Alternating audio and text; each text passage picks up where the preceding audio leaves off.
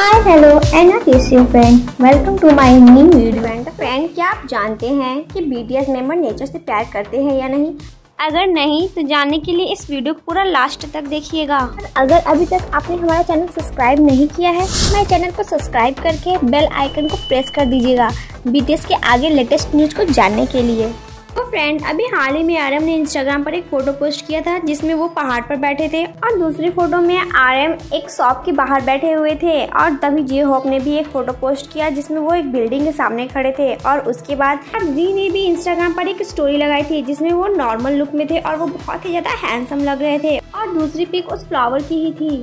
उस पिक में वो अपने कान पर फ्लावर लगाए हुए थे। फ्रेंड्स इंस्टाग्राम पे शेयर किए गए इस स्टोरी और पोस्ट से यही पता चलता है कि बीटीएस भी आम लोगों की तरह ही नेचर से बहुत ही ज़्यादा प्यार करते हैं और वो नेचर में रहना भी पसंद करते हैं।